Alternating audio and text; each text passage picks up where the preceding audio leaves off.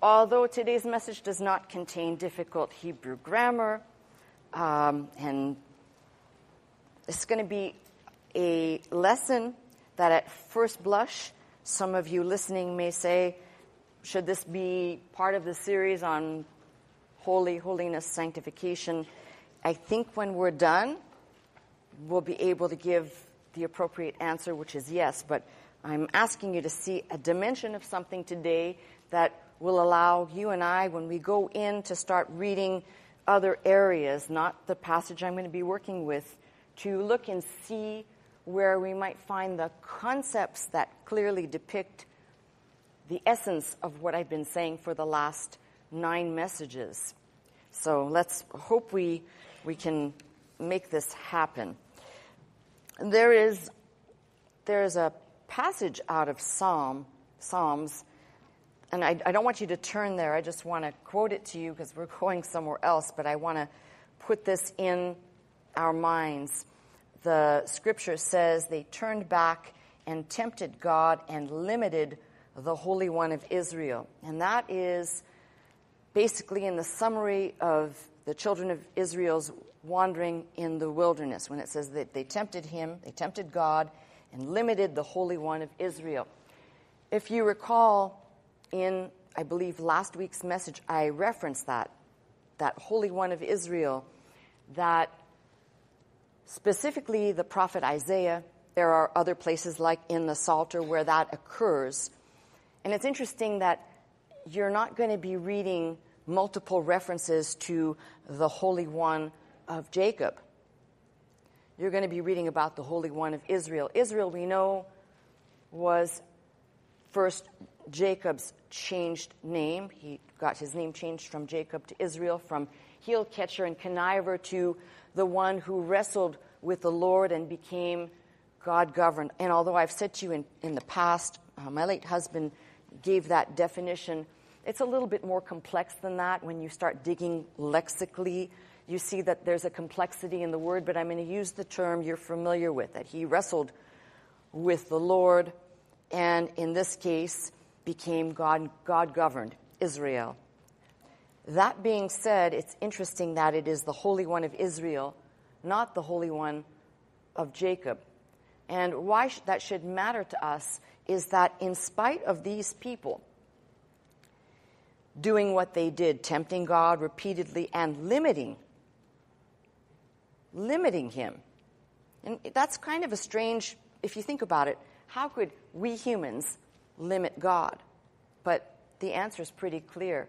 Without faith, it's impossible to please God. Therefore, you do indeed put limits on without faith. There can never be the ability to grab hold of God's word because just the act of that requires faith. So, my focus today is not necessarily going to be on what I quoted, but the essence of what I quoted out of, and if you're looking for the quote, please don't turn there. It's Psalm 78, and that is verse 41, because I will be taking you today to First Chronicles, starting in the 13th chapter. And I'd like you to turn there, please, because I'm not hearing any pages going. I'm thinking, wow, you're all mind readers. You're there already. Wow. Okay, so let me give a little bit of background here. There is no question that David definitely loved the Lord and delighted in his word. But after the terror of Saul's reign, that almost completely left God's word and God's way out of the mix, it was put in David's heart that he should bring back, restore, and reestablish the worship that had been instituted by God through Moses in the wilderness. It was put in his heart to go and see about bringing the ark of God back and putting it in a place where it would be conspicuous, it would be seen, it would be prominent. In other words, it was in David's heart to restore worship to the people of God. And so David sets out to find the Ark of the Covenant. When we read, we heard of it in Ephrathah, and we found it in the fields of the woods. David's desire to bring the Ark of the Covenant back and place it and we'll, we'll, we will see it kind of in this passage close to the palace. And perhaps even um, I'm of the belief that it is of the same place where Abraham offered up Isaac, which is why I always refer to Genesis, Genesis 22.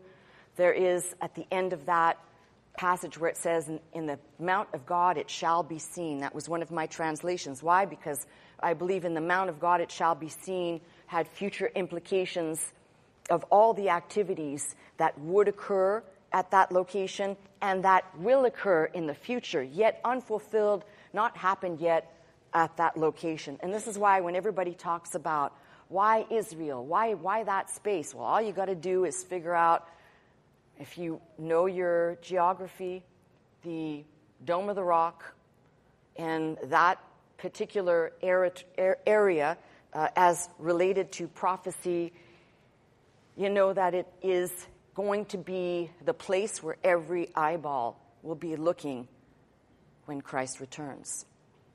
So when people say, What's the big deal? Well, unless you're in the Bible and you're reading the, the prophecies. And, you know, the one thing I'd like to say as a, as a footnote, especially for some of the newer listeners, some folks who are not, they haven't gotten to prophecy yet, they start reading the Bible, and even there, it's hard for some people to imagine that you're actually reading history because it couldn't be that all of this is history. But let me just tell you this, this last year, some of the most incredible pieces were unearthed at Shiloh.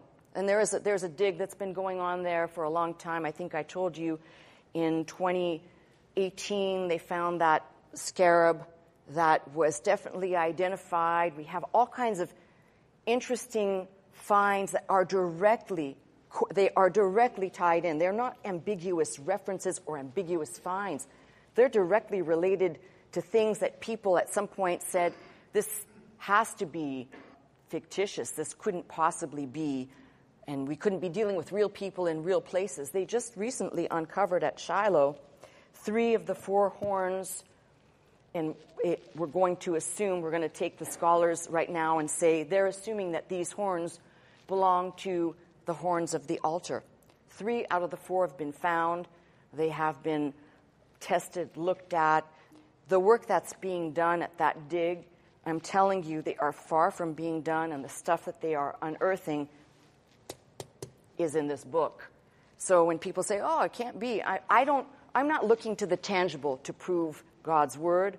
I take God at His word and all these other things. It's like, that's great. That's wonderful. That's fantastic. But it, it didn't make me come to the faith.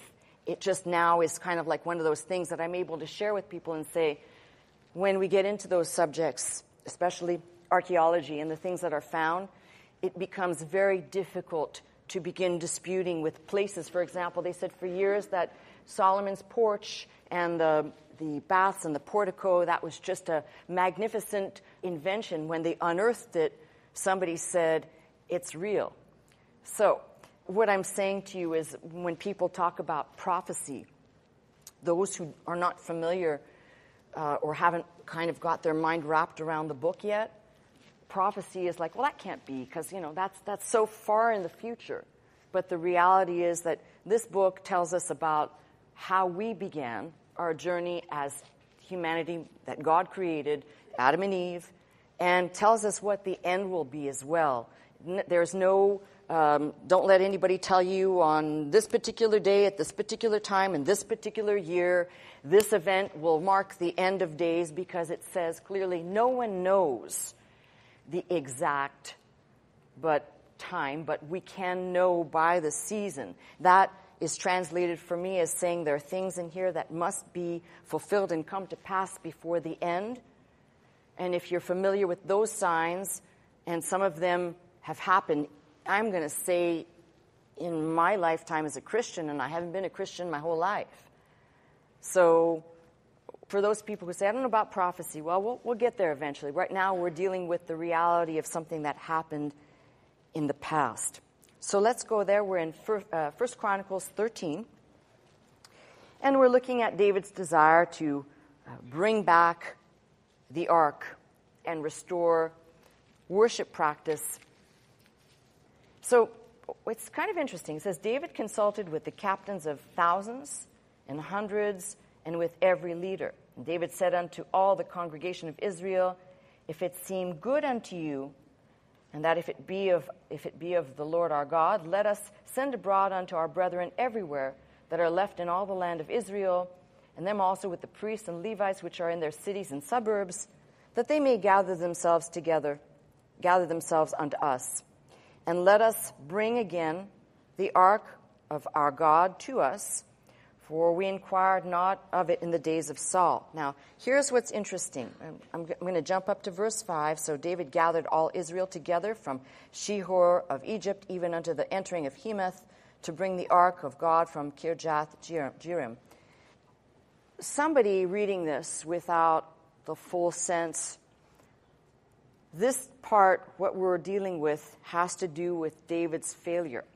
That sounds like a good thing, sounds like a wonderful thing. I want to bring the Ark of the Covenant of God back to God's people, and instead of me doing it, I'm going to make the nation do it. The nation will get the credit. We'll all be happy and sing kumbaya. But there's one big problem. The way you do things with God is more important than getting the job done. And if we look at this what's going to happen. The first thing I want you to note somewhere listen to what it says. I'm going to read this again. David consulted with the captains of thousands and hundreds and with every leader. That's number one. Then he spoke to all the congregation of Israel. Then he gathered all the people from Shihor of Egypt all the way to Hemath and so forth. What's missing? What? God. What? God. He didn't consult God. Now, you know, this may be so axiomatic, so self evident, but I'm telling you something. If you read this properly and in the right frame of reference, you realize that this is not only something revelatory about God and the way he sees things. See, God doesn't just say, oh, that's great. These, these people are gathered here and they're worshiping. Now, I can smile when I say this, and some of you are just going to think I am just a bad person, but that's okay because a lot of people think I'm a bad person. So join the club, join their club. if you think that you can, you can decide how you're going to worship God, you're a crazy person. See, God spells it out. And this is why I just stand back. I, I do my own thing. I don't want to be associated with other folks that are, say, in larger institutions and they want to they want to partner with you. I, I, I want no part of any partnership. My partnership is with the Lord. And when I say that, sounds a little, you know, yeah, that's, that. but here's the reason why. I've said this to you before. I'm really concerned. Let me speak about here. I'm concerned about how we do things, in fact, I think I shared with the band last night, and I didn't say it like this, but it, it's the essence of what I was trying to say. How you do for God is more important than just getting the job done. People gather in churches and they have worship and their form of worship, which for the, the unlearned in this book may be really great. And for the longest time, I used to say, why is it that this group of people over here with great popularity and people go by the droves? And, but the reality is this those things prosper because there is no God in it.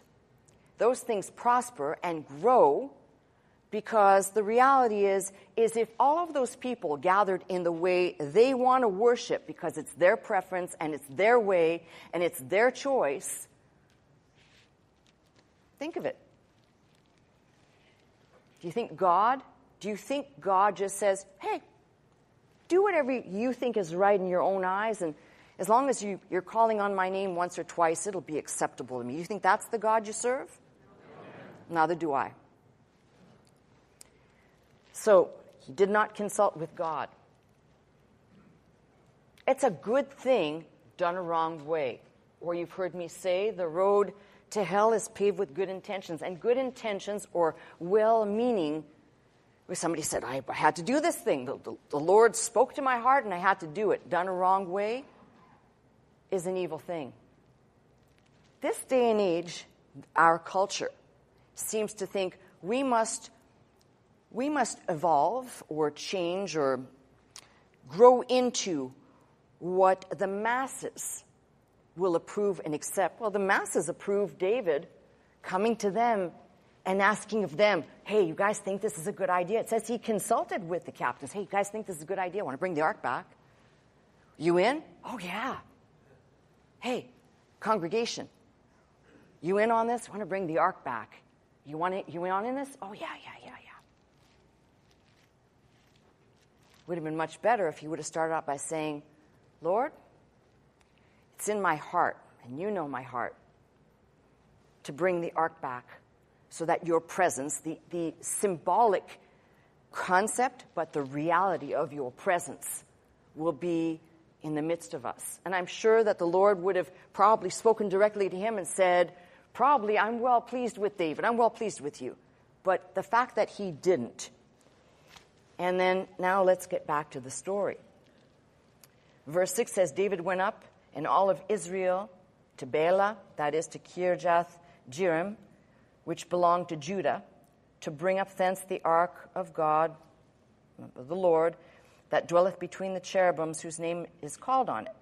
And they carried the ark of God in a new cart out of the house of Abinadab, and Uzzah and Ahio drave the cart.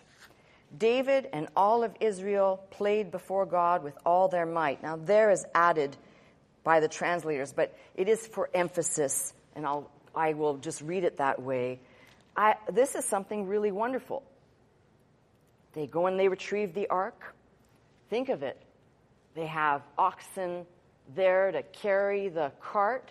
That's a practical thing, right? That's quite pragmatic. That makes sense. You wouldn't have a camel carrying the cart, would you? I'd put the ox and get the cart. It's a new cart. And then there's going to be this great procession, celebration. Who doesn't love celebration? We're singing praises. And it says they played with all their might. Doesn't that sound awesome? Shouldn't it be that way? That pe- the people sing with everything that's in their heart. They're, they're worshiping, right? Yeah, hold on. They were singing with harps, psalteries, with timbrels, with cymbals, with trumpets. And when they came upon the threshing floor of Chidon, your Bible says called Nashon, Uzzah put forth his hand to hold the ark when the oxen stumbled. The anger of the Lord was kindled against Uzzah, and he smote him. He killed him. He struck him down because he put his hand to the ark, and there he died before God. And David was displeased because the Lord had made a breach upon Uzzah. Now, I want you to kind of pause with me for a second. David was displeased with the Lord because the Lord basically killed Uzzah for his act of trying to reach out and touch the ark. Now, on the surface, anyone who hears this for the first time will say, oh, God is cruel. Uzzah was just trying to keep the thing from falling. And if you know your Bible, Abinadab is Uzzah's father. And they do come from a line of Levites, out of the tribe of Levi, but they were not, here we go, they were not the ones chosen to carry the cart. That would have been assigned to the family and the lineage of Kohath. And the Kohathites, that was their responsibility. And this tells you a little bit about the mindset. Let's make it convenient for us. It also tells you something else, because there's something really kind of wacky about this. If you, if you kind of read this and carefully, you'll find out that in this whole thing, the priests are not in the right place. There are priests present, they're not in the right place. That Uzzah is from that lineage, but he's not called to do that task. With God, there were specific people. The Kohathites would insert the poles through the rings, and that's how the ark would be carried. It was not to be put on the back of any beast. God said, This is the way you transport it. This is the way it's to be handled. This is who touches it. This is how That's why I said with God, it's more important when you're listening to God, He's saying, This is how I want it done. This is a clear example of what not to do. Well, just get the job done. Doesn't matter, right? Now, you might say, is this only a lesson out of a series? No, this is a lesson for every single person listening to me. I start with me and it goes all the way to whoever can hear me. That you can't come into the church and bring the world's ideas and the world's concepts and say, and let's apply it. It doesn't work. It has to be done God's way, in God's time, by God's design. And I've said before, I'm looking for people to understand what I preach is the Bible, and what I ask of people is be authentic. Don't try and copy somebody. Don't try and act like somebody else. Don't try and impersonate somebody. We'll leave that one alone because there ain't much to say about that one. Okay, they didn't lack enthusiasm. They were singing, and with all their might, right? They didn't lack enthusiasm. Now, anybody looking at this thing will say, but God is pretty cruel. He, he kills this guy for trying to, to stabilize the ark. Oh, God's pretty hard to please. I wouldn't want to serve somebody that's that hard to please. You know, the reality is, God's not hard to please. When God says, this is this, it means this is this. And you either are in love with this is this, or you say, yes, this is this. And you may not love it, but that's what God said, and that's the way He wants it done. Period. Not discussable. Keep reading with me. So it says here David was displeased because of the Lord. He made a breach upon Uzzah, wherefore the place is called Perez Uzzah to this day. That is the breach of Uzzah. And let's now go to the next thing here. So David was displeased. The next thing we read of is David was afraid of God that day, saying, How shall I bring the ark of God home to me? So there was a lesson learned out of this. When David saw Uzzah struck down, and the whole thing had been essentially halted by God's act and intervention, it struck a chord with David. Well, how am I going to bring it? How am I going to transport this thing now? It says, So David brought not the ark home to himself to the city of David, but carried it aside into the house of Obed Edom, the Gittite. And the ark of God remained with the family of Obed Edom in his house three months, and the Lord blessed the house of Obed Edom and all that he had. so, the moral of the story, never mind. So, we might say a few things here, and this is what I want to talk about. As I said, there was very little thought to include God and make Him first. I think I just said that about giving, but it applies to everything. You inquire, and, and when I say inquire, I'm saying you talk to God about something first. You're, you're not going to go wrong by starting off first there and moving in another direction. Uh, but there is, again, there's so many lessons in here. I'm trying to stay on course, but I can tell you, for example, when the whole multitude gathers in and says, Yeah, that's a good idea, go the other way. Usually that herd mentality, and it's like that. It just builds momentum, and then you kind of feel embarrassed if you're going the other way. Well, not for me. I'd rather go the other way because I know that most of the time, the mass uh, multitudes are going to usually choose the easiest way, and usually it's the wrong way as well. I choose salmon. Sorry, never mind. Uh, you never know where things come from. Why am I emphasizing about this cart as well? God never said put it on the back of a beast. He said that's the work of man, not of beast. That's in our nature to make our life easier, even when it comes to the things of God. And this is why this lesson out of, out of these pages is timeless, because there is a, a mindset from just this chapter alone that kind of permeates Christendom today. And that is, it doesn't matter. We're, we have our own interpretation of it.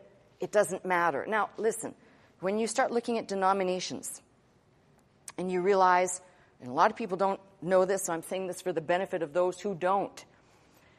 When you talk about Protestants, the people were called Protestants because they protested. What were they protesting? They were protesting against the corruption of the Catholic Church. This is in Martin Luther's day, and as many of you know, that happens to be my favorite time in history because there, there was a lot of things that went on in that particular time. But Protestant does, is not simply you're born into it. You should know that the reason why we are called Protestants is we protested against. And more specifically, the protest was against the abuse of the things of God in what was the largest inst- religious institution of its day. And that doesn't say that suddenly we, we protested and therefore there's never going to be any corruption or anything to protest among the Protestants, because there is. Because it's the nature of people, of humans, to corrupt everything. That's in our DNA. That's what we do. So even if somebody starts off with good intentions and good motives and they're a good moral person, usually give it enough time and it'll just be, it's, it's even within Protestantism, it becomes feeding the machine. I told you the story about a certain ministry, and I was distantly acquainted with the person of the ministry who was the, the, the I, I, don't even want to call it pastor because they didn't have a congregation. I don't even know what to call them, but they were the individual that was the face of the ministry.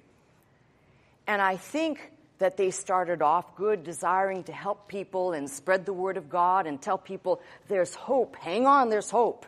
When your life falls apart, you got something to hang on to. You're not alone, somebody's with you. And I think that changed over time to where it became feed the machine because that ministry grew and it kept growing. Suddenly it became about needing more money to feed the machine. need more money, which requires more aggressive fundraising, which requires people to come in. And those people that started coming in to be the quote unquote fundraisers actually became the people that brought in that damnable heresy that became the trend in the 80s and the 90s of if you give, you'll get. God will fill your bank account, your pocket, everything else he'll fill. But you know, what? the only thing they left out is maybe you want to ask God to fill you with him first. I'm not quite sure that they got that memo.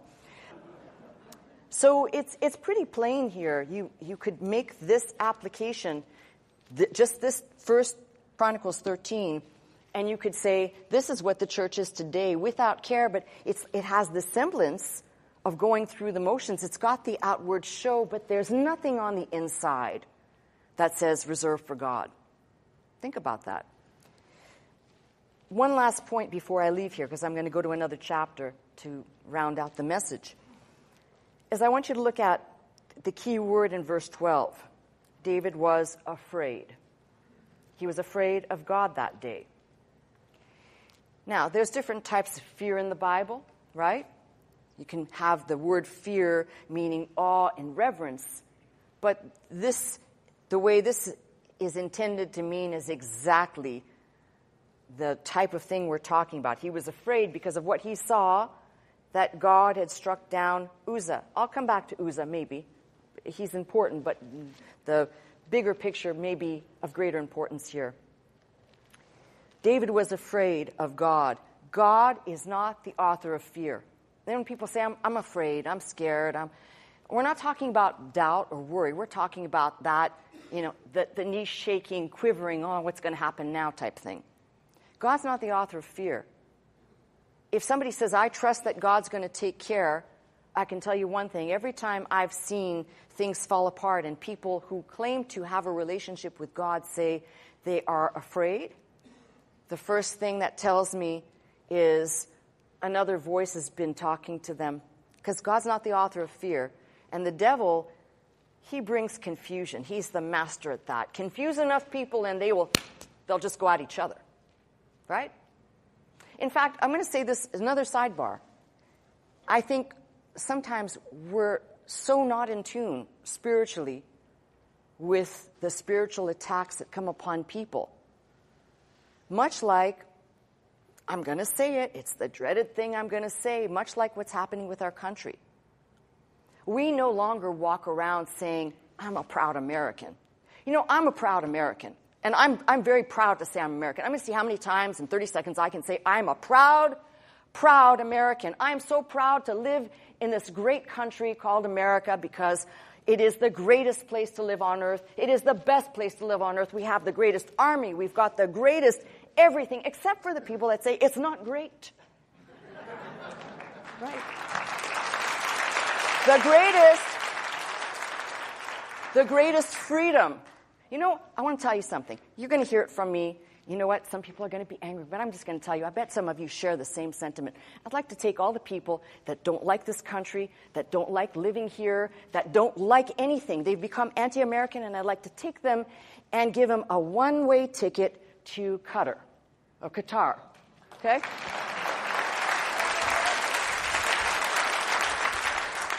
It's called the 24 hour experiment. You get off the plane and you say, what the hell? Get me out of here.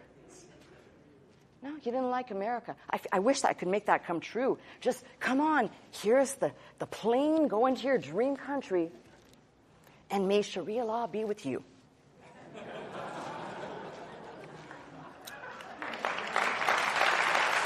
Listen, I respect the differences going on, but I'm, I, I started this by saying we have become so confused and I'm going to say this to you. Spiritual, there is a spiritual problem in America, but you can't tell a lot of Americans that because a lot of Americans say, I'm not spiritual. I'm not even religious. But I want you to see how we went from a country and people that were proud, that were saying this is the best place, to a divisive bunch of, really it is, it's like children, just petty children. Like this is all you do all day, like this. And it comes to color, race, gender. We bring up every subject that we can to bring division. I'm not saying we're ever going to be syncretistically holding hands and walking down the street singing kumbaya, but holy Toledo, when you look at it, you realize that there is something at work here. And it is the same principle. As I said, leave God out of the equation. Don't involve God, and you'll have plenty of confusion. Don't involve any spirituality of, and I'm going to say it like this, of any higher power. We just are in charge of ourselves. We do what's right in our own eyes. We don't answer to anybody, you think. Okay, so the ark stays at Obed Edom, the Gittite's house, for the space of three months, and the Lord blessed the house of Obed Edom. Now, read with me First Chronicles 15, because this is the bookends of doing something your way for God versus doing it God's way for God. And David made him houses in the city of David and prepared a place for the ark of God and pitched for it a tent. Here is the right mindset now. The motivation and the intent from chapter 13, now with the right fixate, fixated view, which is prepared a place for the ark, pitched a tent for it. Now there's thought of God is first. Prepare, get ready, prepare the place. In other words, this is what he should have done in the first place. Then David said, None ought to carry the ark of God but the Levites. For them hath the Lord chosen to carry the ark of God and to minister unto him forever. So here is the wonder of it all. When you do it God's way, these were the people. Now, it says Levites. I don't want to get particular, but there were a group of people chosen to do a specific task. Each had their own responsibilities. David knew that. Now we're going to do it the right way. David gathered all of Israel together to Jerusalem to bring up the ark of the Lord unto his place, which he had prepared for it. And David assembled the children of Aaron and the Levites, the sons of Kohath. Uriel, the chief, his brethren, and 120, the sons of, and you've got all the people listing all the folks that are here. And I could keep reading, but it says, we're going to jump to 1525, because that's where I want to focus on. So David and the elders of Israel and the captains over thousands went to bring up the ark of the covenant of the Lord out of the house of Obed Edom with joy. They didn't go there afraid. They didn't go there confused. They didn't go there thinking, what if? They went there, they went to get it out of the house of Obed Edom with joy. And when it came to pass, when God helped the Levites that bear the ark of the covenant of the Lord, that they offered seven bullocks and seven rams. That's the other thing that was missing.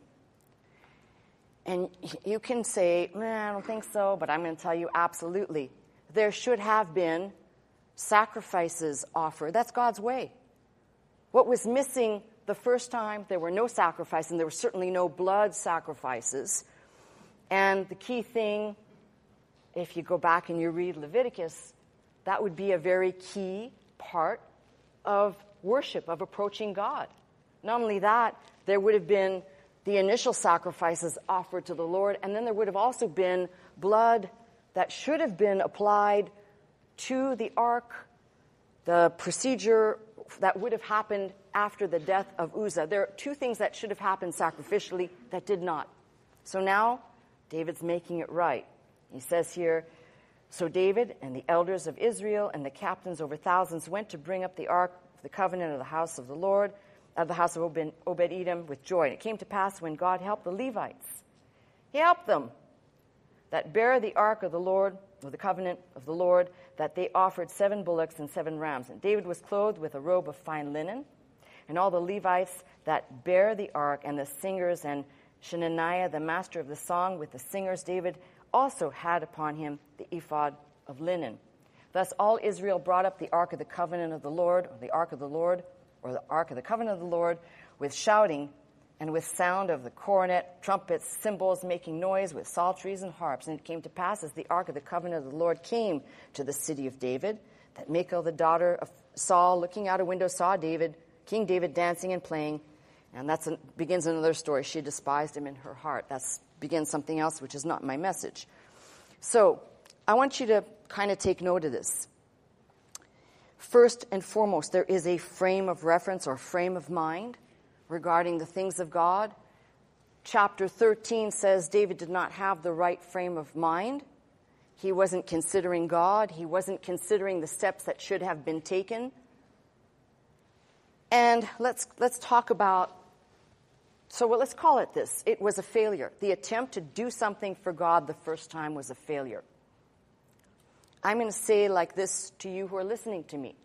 A lot of times we want to do things for God and we fail. That failure should produce a stepping back and, and a reassessment. Did I start in the right place? Did I start putting God first? Did I start about the Word of God, the will of God, the way of God? Or was I thinking, this will be cool. I'm going to get this done, and then I'm going to say, look, God, look what I did for you. Big Daddy, right? Yes, you have people like that. Their mindset is just that. They don't care about how, they just want to get it done. And God says, I don't accept that. Not only do I not accept it, it's worship that I do not consider worship. That's the other revelation, is that when I talk about Christendom today, there's a lot of worship today that's not worship unto the Lord. You can say whatever you want, but I've seen a lot of these worship sessions. And what they are, it is a lot of the, the individuals, especially those who are playing music, they are kind of venerated as rock stars. They, they look like it too. The whole, the whole feel of it, the whole design is that the individual that's on the platform or the stage is, is the, the one. And then you've got all the flunkies or all the, I want to call them automatons because they're just going with it and it's, you oh, know, this, this is great and ask them what's so great about it. Well, had a great time. Well, that's great that you had a great time, but what did you learn in your great time about God? If you aren't learning about God, God's way, and God's word when you come to church, you're not going to church. Period. It's, it's, just, it's, it's, it's really not that complicated. But what I, I want to look at right here is the, the, the last verse I referenced here that they got the, the ark of the covenant of the Lord out of the house of Obed Edom with joy.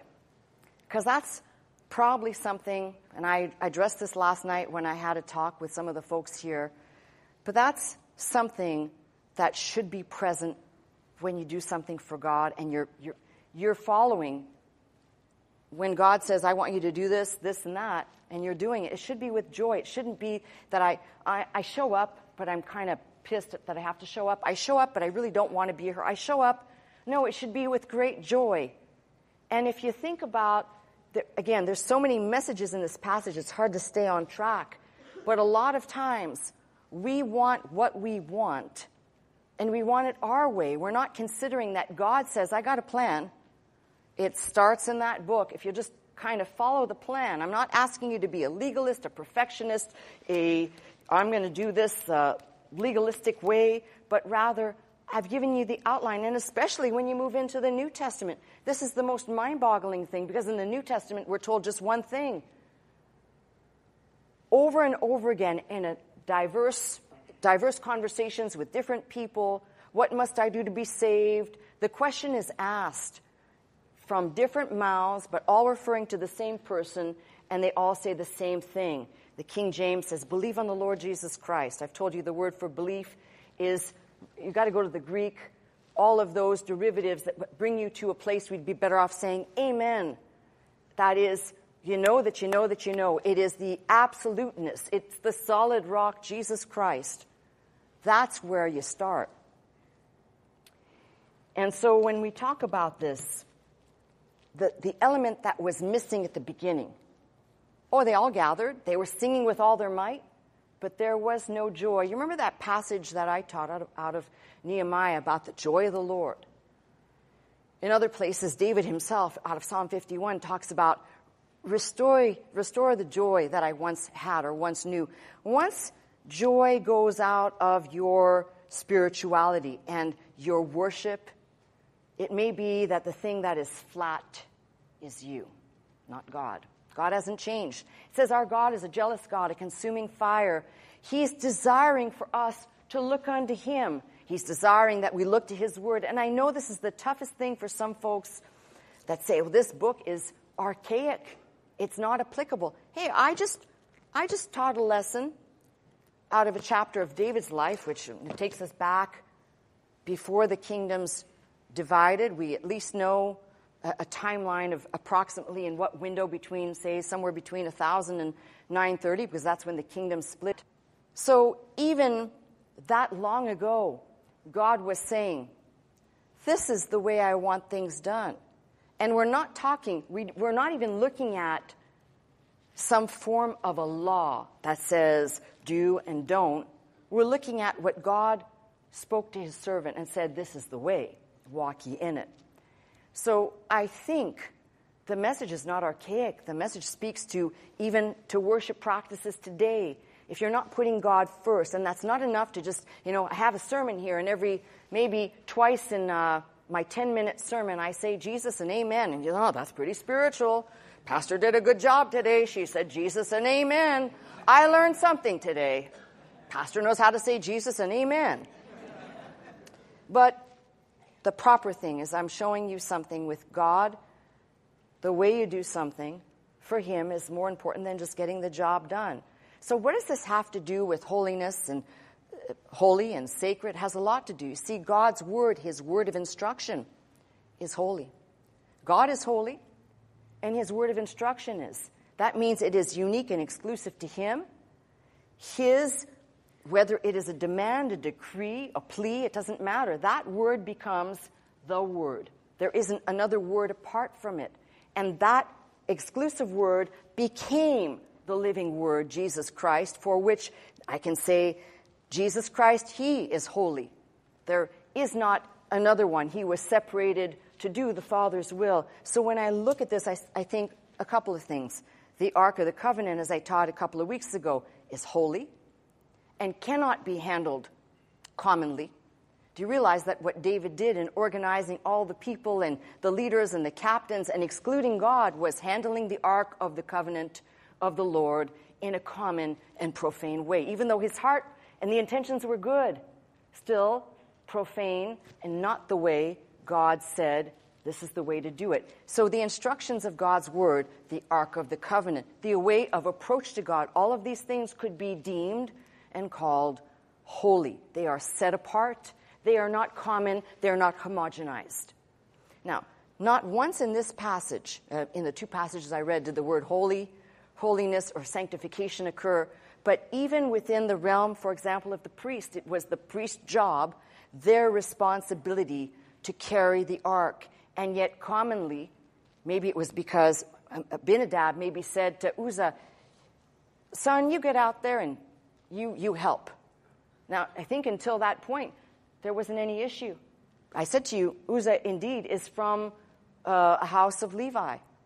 But the issue was when he reached out to stabilize it. And I, I need to touch on this quickly because there'll be people that say this is very unfair. He was just trying to do the right thing. Okay, he's doing the right thing the wrong way. And with God, that matters. Do you know, back there in Numbers 4 5, it says, nobody touches the ark. You know what that means? It means nobody touches the ark. you needed a translation for that one. Whoa! and it was all done in English, too. So, my point is, God said there's a way to, to transport the ark.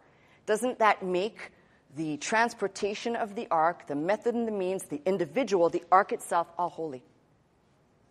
So, without there being a mention of it, this embodies that which I've been trying to communicate, at least one dimension. It's another dimension of what I've been trying to say, that you can easily read passages of the Bible and without those words being there, see that this is very important to God.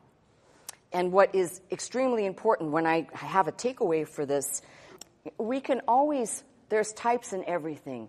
The, the carrying up, if you will, of the ark as a type, and I, I like to use type sometimes. The carrying up of the ark to the hill as a type of the ascension of Christ. There's so many different shadows and types in here that if I was just going to do a lesson on shadows and types, I'd say there's a lot in here. But everything in God's book we say there's history, there's God's story being told, but there's also the need to look at, as I said, the bigger picture and see the themes that dwell within each of these, we'll call them vignettes. And the theme there is doing something for God God's way. There's, there's ways, there's man's ways, and there's God's ways. But the things that, if you're going to do it God's way, the mind has to understand God has set boundaries. God has set things in order. God has set His word, given us a way, and He expects it that way. You move into the New Testament, uh, you have, we'll call it a little looser mindset that Jesus knows, for example, the spirit of the woman that he encounters at the well at, in, in the middle of the day. And we can talk about that. He doesn't judge the woman, he doesn't condemn the woman. Even there, he says, he tells the woman that in that whole conversation in John 4 that God is a spirit that must be worshiped in spirit and in truth. Tell me how, if we're going to take a New Testament idea and say God is to be worshiped in spirit and truth, was there any spirit? Go back, I know it's Old Testament, go back to the first Chronicles 13. Was there any spirit in moving the ark the way David was planning to do it? No. So, this is why I said to you it's important to kind of look at the concepts, put them together, but then don't just look at this and say, oh, that's, that's a great story to make an application to. Let's make the application to us. And this is perhaps why I have little or no patience when people see the church as anything else but you're going to run amok you're going to you are going to be a train wreck if you see the church as anything else, it belongs to the Lord. This is not my church. This is not your church. This is His church.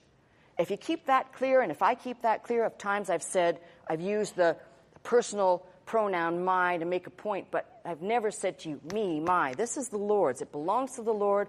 We're all just stewards here. You think anything else, you're foolish. So in the in the realm of stewardship, it's important for us to look at God's Word with stewardship and take the lessons, make the applications to ourselves today. With God, it is more important that we look at how He desires the way of approach, if you will, because He lays it out. He lays out the way of approach from the beginning, from the moment. In fact, I'd go so far as to say the way of approach was laid out to God before the sin in the garden even occurred. The way of approach had to be laid out. God said, This is the way you come to me.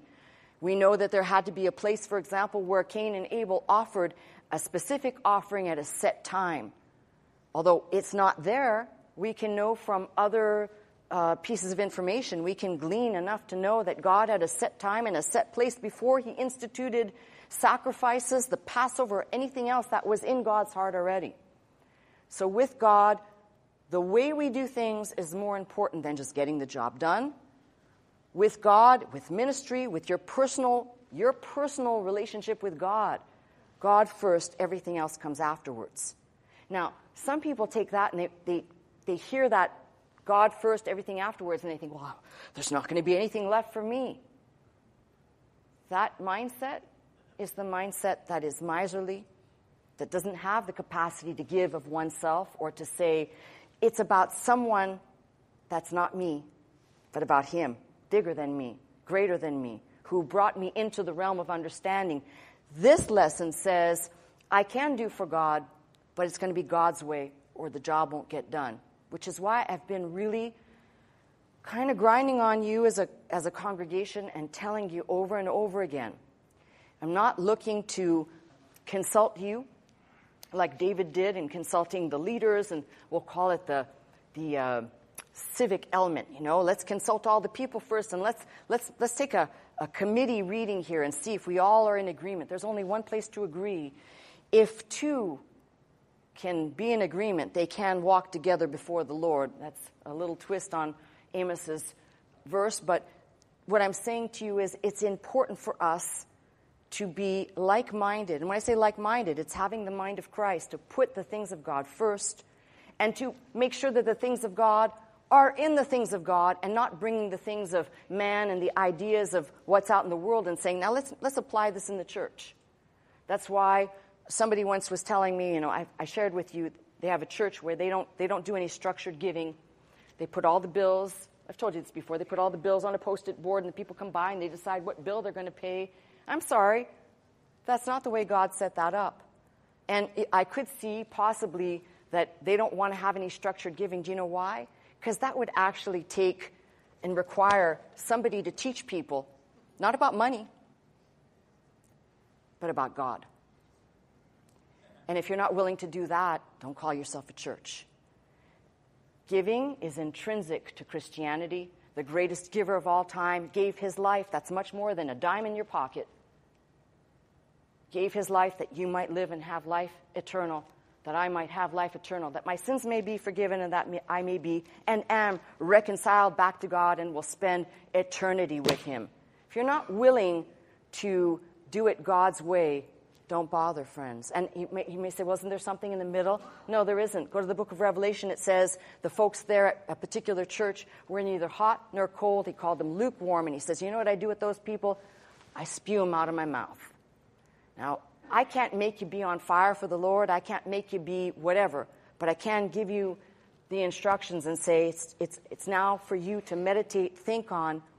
Sometimes it's really good for all of us, even if we are walking in the Word and we're faithing, it's good for us to sometimes, as I've said, take a spiritual accounting of that's you for you. You don't share it with somebody. You don't go ask a brother or a sister. You don't have to go talk to somebody. You sit down. It's you and God. Do a spiritual accounting.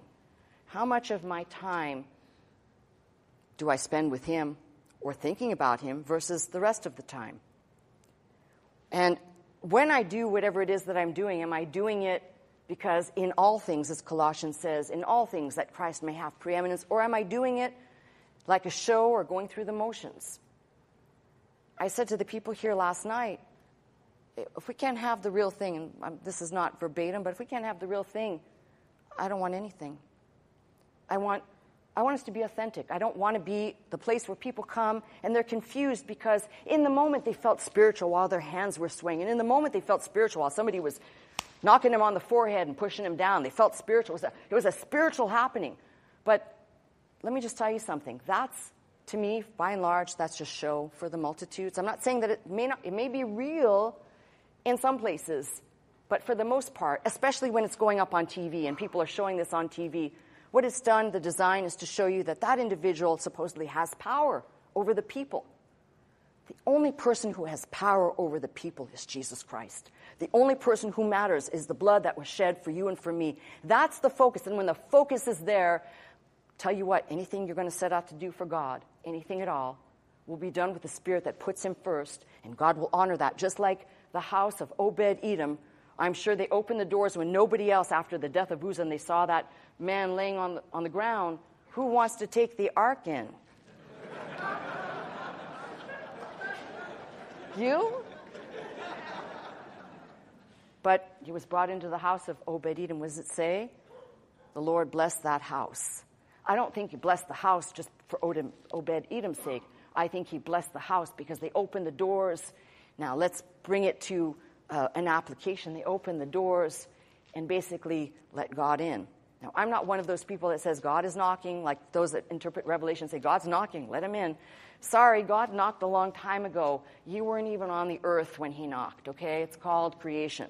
So, if your mindset, though, is, is tapping into this a little bit, yes, the house of Obed Edom, they opened up their house to the presence of God, and God blessed them. They probably no one else did. They did, and God blessed them for that. I'm wondering if there's any individuals here as a tabernacle of God who are like the house of Obed Edom, ready to say, I'm ready to do it God's way and watch what the Lord will do for you. And I'm not saying that the Lord's going to, uh, He's not some bestower of bling and, you know, He's the dispenser of all things, but in Him all things are. Therefore, if He is in our midst, we have all things and everything that we could possibly need. So, although holy, holiness, and sanctification don't appear, the essential meaning of those words do. So, I'm going to include it as number 10 in my series. Next week, we will possibly, if the Lord wills, return to more hardcore digging of this same subject. Till then, that's my message. I'm Pastor Melissa Scott, pastor of Faith Center, Glendale, California. I teach every Sunday morning at 11 a.m. If you'd like to attend services with us, simply call the 800 number, that is 800 338 3030, to join us. If you'd like to watch, Listen and learn 24 hours a day. Simply log on to our website at www.pastormelissascott.com.